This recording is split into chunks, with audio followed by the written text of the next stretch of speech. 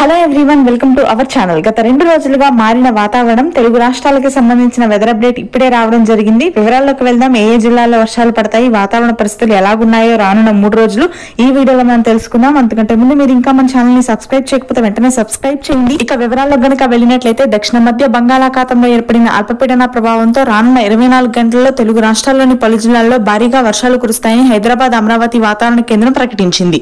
జిల్లాల వారీగా చూసుకున్నట్లయితే దక్షిణ మధ్య బంగాళాఖాతంలో ఏర్పడిన అల్పపీడనం మధ్యాంధ్ర వద్ద తీరాన్ని తాకనుంది తీరాన్ని తాకే సమయంలో దాదాపుగా గంటకి నలభై కిలోమీటర్ల వేగంతో ఈదురుగాలులతో కూడినటువంటి వర్షాలు మొదలవుతాయి.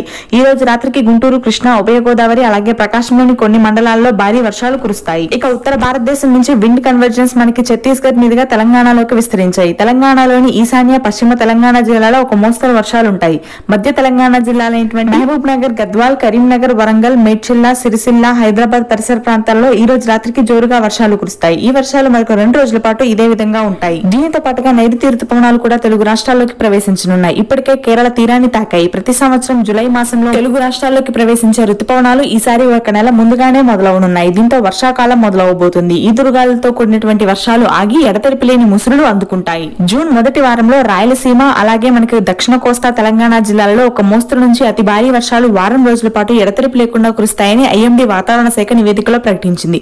ఈ వర్షాలు రైతుకి చాలా అనుకూలంగా ఉండనున్నాయి. ముఖ్యంగా వర్షాలు చెప్పుకోదగ్గ వర్షాలైతే ఈ రోజు సాయంత్రం నుంచి రాయలసీమలో కురవనున్నాయి ముఖ్యంగా మే ఇరవై రెండో తారీఖు నుంచి భారీ వర్షాలు మొదలవుతాయి. ఈ రోజు నుంచి అయితే ఒక మోస్తరు వర్షాలు ఆకాశం మేఘవృతమై చిరుజల్లులు ఉంటాయి. ముఖ్యంగా చిత్తూరు ప్రాంతము అనంతపూర్ ప్రాంతాలలో ఈ వర్షాలు కురవనున్నట్లు వాతావరణ కేంద్రం ప్రకటించింది. ఇక ఉత్తరాంధ్ర శ్రీకాకుళం గాని విజయనగరం గాని విశాఖపట్నం మన్యం ప్రాంతాలు అటవీ ప్రాంతాల్లో మాత్రం వర్షపాతం కొద్దిగా తక్కువనే చెప్పవచ్చు. ఈ రోజు అయితే ఉష్ణోగ్రతలు పూర్తి స్థాయిలో నలభై డిగ్రీల సెంటీగ్రేడ్ వరకు నమోదవుతాయి.